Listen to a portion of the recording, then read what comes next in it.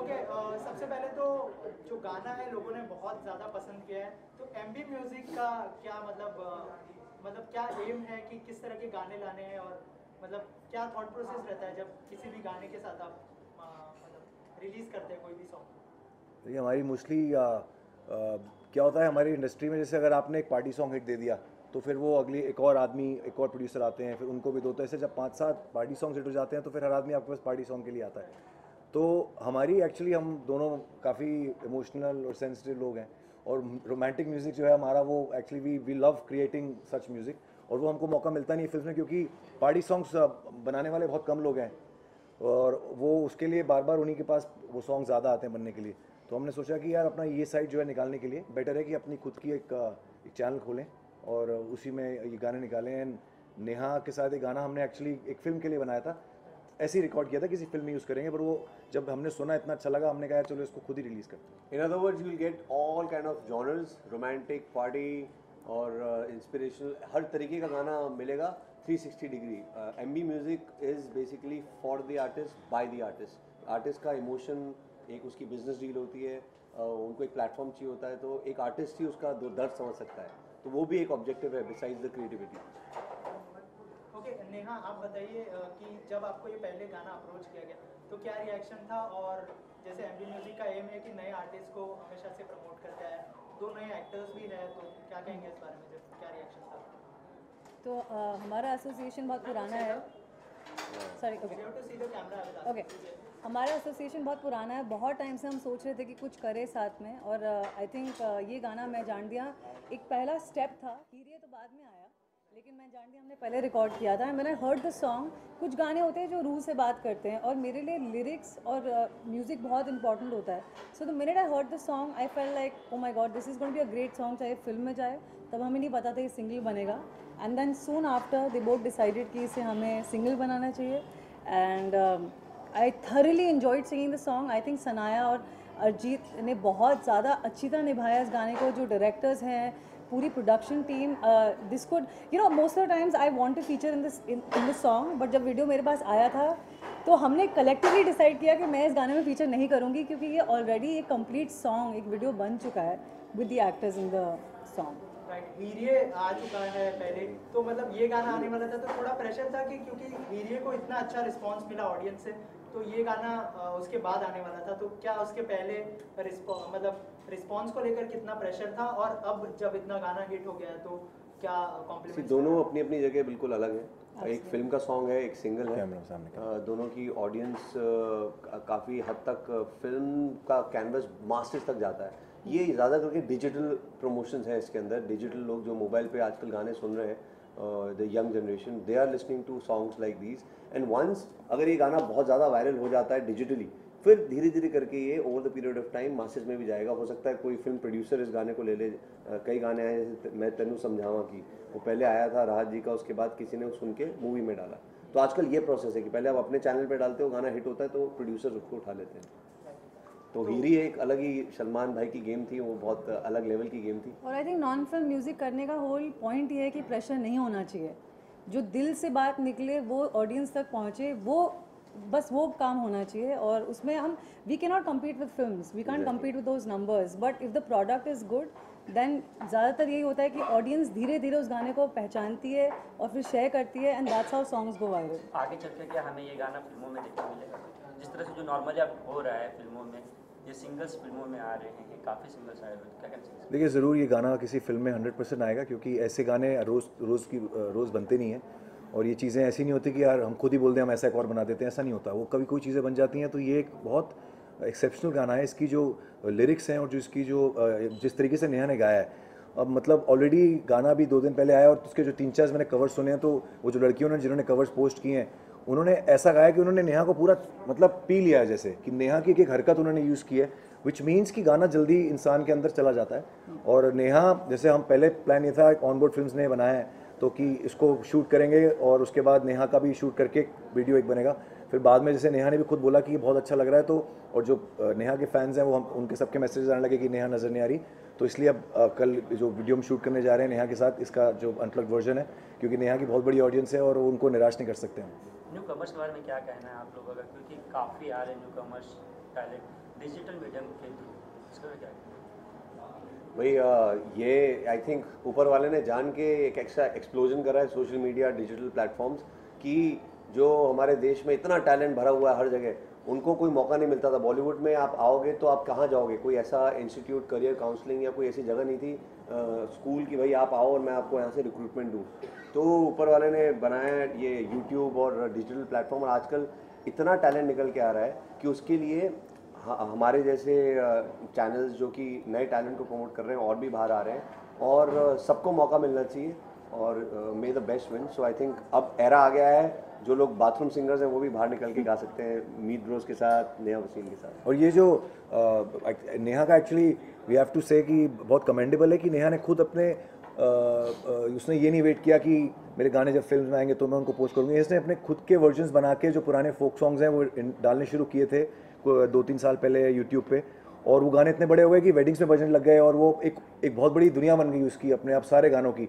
और एक वो आप देखेंगे तो पूरी एक यूट्यूब पे millions and millions of hits हैं इनके गानों पे और और यूट्यूब पे नहीं होने के बावजूद भी सब जगह शादी में बजते हैं जिन्होंने यूट्यूब कभी खोला नहीं, वो भी सुनते हैं गानों को।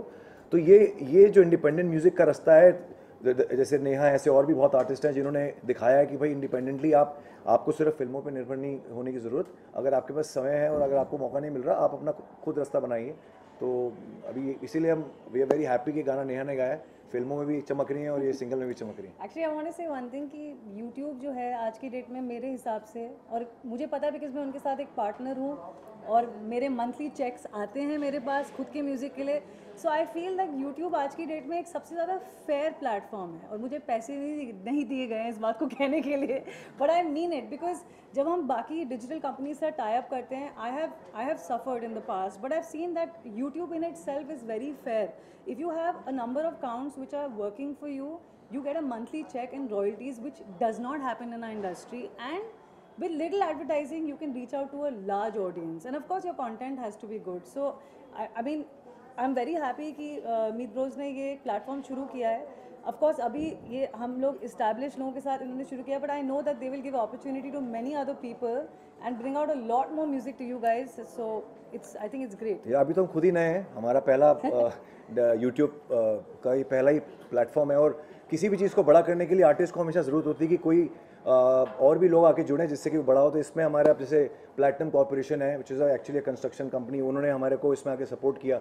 Uh, और बोला कि नहीं we won't be with you in this song and it's a beautiful song and whatever you need you know and they came on the board so जब ऐसी कंपनीज़ आके आपके साथ जुड़ती हैं तो आपको रियलाइज़ होता है आप किसी अच्छी डायरेक्शन में जा रहे हैं। And and actually such big companies uh, you know join in to uh, this project. आप indirectly एक charity भी कर रहे हो because artist creativity gives happiness to people. जब हमारा बेबी डॉल गाना बजता है शादियों में और लोगों के घरों में बर्थडेज पे so they feel a joy and happiness तो इसलिए एक तरीके से हम चाहते हैं कि यू नो लोग हमें आके सपोर्ट करें और हिंदुस्तान के जो टैलेंट को अब जो ऐसे सिंगर्स आएँगे मैं जान दिया के बाद अभी हमारा एक राजस्थानी फोक गाने पे हम कुछ लेके आ रहे हैं एक गरबा पे एक गाना लेके आ रहे हैं। तो मीडिया का भी जो सपोर्ट मिल रहा है हम लोगों को that is very nice and we want to thank every one of you तीनों की आवाज़ में अगर मैं जान दिया का दो लाइनें अगर आप सुना मैं जान दिया तो इन्हीं की आवाज़ में अच्छा लगेगा हम लोग सीटी मार लेंगे साथ में Maybe we can sing Hiriya later.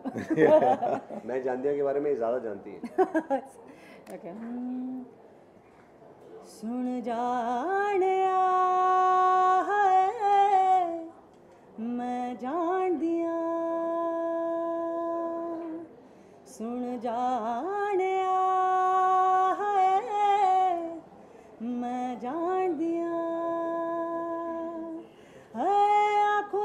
दिखता है दिल वाला प्यार वे। दुनिया से डरती ना करूँ इजहार वे। तेरे भी तो सर चढ़े आ मैं जान दिया है पहचान दिया इसके अलावा सना ईरानी और अरिजीत गाने जो लीड है इसमें कुछ रीज़न क्या? वो हीरो हीरोइन आपको मालूम है अक्सर अटक जाते हैं शूटिंग एक्चुअली उनको लगा कि उन, उनको ऑलरेडी इतना इंपॉर्टेंस मिल गया है कि उनको लगा कि वो ये दिन हमारे लिए नहीं आई एम जस्ट जोकिंग तो क्या आने वाले हैं कि नहीं अरिजीत क्योंकि अगर वो आते हैं तो आप हमसे इतनी बात नहीं करते। तो वो इतने अच्छे हैं कि उन्होंने डिसाइड किया कि आज हम सिंगर और म्यूज़िक डायरेक्टर को ज़्यादा चांस वो अपना अपने वो अपना प्रॉब्लम्स एक्चुअली सॉर्ट कर रहे हैं बैठ के क्योंकि जब उन वो दोनों मिले तो उनके बीच में एक प्यार शुरू हुआ लेकिन बाद में सानिया को पता लगा कि उसकी एंगेजमेंट हो चुकी है तो बहुत लफड़ा चल रहा है दोनों में।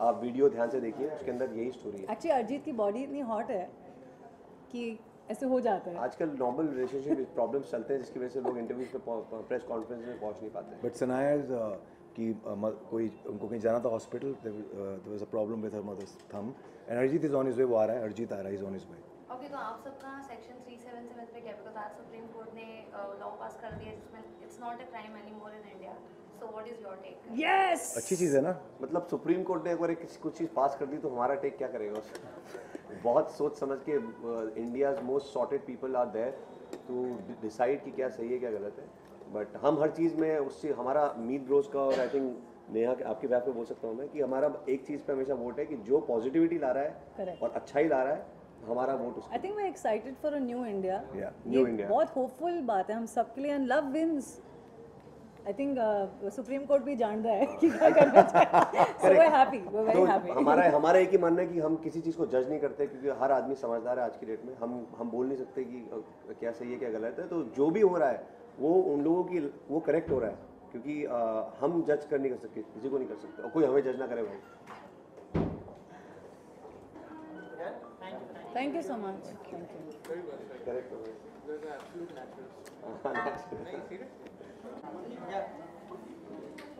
मनमीत का मनमीत हाँ। विल वेट फॉर हिम हाँ just call him urgent Priyanka can call Manmeet quickly सबसे पहले सर आपसे जानना चाहूँगा प्लेटिनम क्रॉप का कोलेब्रेशन हुआ है इस म्यूज़िक वीडियो के साथ। क्या थॉट प्रोसेस था जब आपने मतलब सो सबसे पहले I just want to congratulate Meet bros and Neha and Arjit and Sanaya for and on board film for song so beautifully done such soulful music ऐसे ऐसे गाने आज के टाइम पर ज़्यादा सुनने नहीं आते हैं. So I very happy to be collaborating with all of them platinum corp का एक नया प्रोजेक्ट आ रहा है platinum Woke which is fashion inspired living हमने कंगना रनौत जी के साथ भी टाई अप किया हुआ है for this and this is fashion inspired lifestyle so we have a rooftop swimming pool we have on call butler chauffeur etcetera so it just makes more sense to to venture into this new industry. And no better people to do this than uh, my brother Ashish and Meet Bros, Onboard Films, MB Music, and Neha Basin, and uh, all of you people. Ashish क्या plan था आपका और मतलब क्या compliments मिल रहे हैं जब music video सबके सामने? है पहला कॉम्प्लीमेंट तो यही है कि हम लोग मीट ब्रदर्स के साथ काम कर रहे हैं। That is the first compliment I would like to I am really thankful that you know we got a song like this एक अच्छा कंटेंट बनाने के लिए एक अच्छी टीम का होना ज़रूरी है और I think from the start getting a music and lyrics from uh, I think the lyric guy Kumar pass Mintu, Mintu, I brilliant lyrics and Neha has done complete justice to this. So I think that entire content came because of that, the brilliant teamwork we got. So I think yeah, that's about it. And you can see in the video, आप feel कर सकते हैं.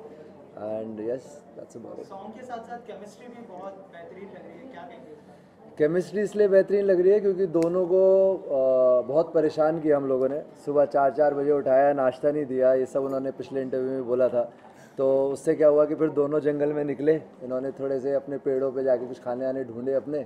तो I think वो chemistry उनकी बनती चली गई उस हिसाब से। I mean of course that's a joke but anyways professional actors हैं। सनाया इतने टाइम से इंडस्ट्री में है। Arijit is is a fantastic actor himself and which you can see in the video uh, chemistry has come up naturally to these two guys. They spend a lot of time together. They uh, i would like to mention happy mongia the director of this video he has sat with them we rehearsed with them and i think it was a fantastic association of all of us together anything you would like to add Yeah, I think ये video इतना अच्छा निकल के इसलिए आया because the first reason is the song कि जब first time हमने गाना सुना तो सुन सुनते से हमने बोला कि यार फील आ गई गाना सुन के तो फील आ गई स्टोरी लाइन किसकी थी भाई वो बताओ story was also very nice story what we do is we just हम ब्रेन करते हैं और उसके बाद अच्छे अच्छे पॉइंट्स सब अपने रखते हैं और उसके बाद we came up with this but गाने ने बहुत ज़्यादा हेल्प किया बिकॉज़ गाना बहुत अच्छा था और यूजुअली होता है कि हम इतनी बार गाना सुन लेते हैं एंड तक जब तक पूरा गाने का फाइनल नहीं आता तो कहीं ना कहीं हम गाने से थोड़ा सा डिस्कनेक्ट कर जाते हैं एंड में. But this is the song जो अब, अभी भी हम इवनिंग में जब बैठते करते तो बैकग्राउंड में मैं जान दिया लगा देते सो दैट हेल्प उससे काफ़ी हमको मदद हुई. और ये है कि जब हम फ़र्स्ट टाइम नरेशन के साथ बैठे तो जो अमित भाई ने मेंशन किया था कि यार, हम अंदर से काफ़ी इमोशनल लोग हैं और काफ़ी हमको थोड़ा सा अच्छा लगता है लाइक इमोशंस हो, थोड़ा ड्रामा हो, थोड़ी अंडरस्टैंडिंग हो। सो जब हमने फ़र्स्ट टाइम ये डिस्कशन किया then this story got finalize कि यार, ऐसा कुछ करते जो कहीं ना कहीं सभी की इमोशनल कॉर्ड को टच करे।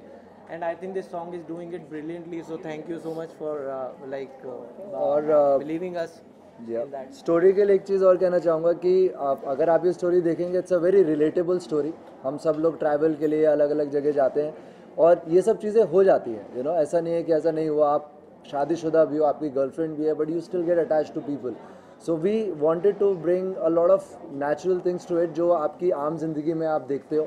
And thankful it was supported by all of us like the entire team work कई बार क्या होता है कि आप अच्छी स्टोरी लेके आते हो बट जो आपके मेकर्स हैं उनको अच्छा नहीं लगता so we got all the support from every end so I think that all work together pretty well Just to add to that, this story hits your heart because this is actually how reality works. ये आपका fairy tale ending नहीं है, but this is real life and that is beautifully shown.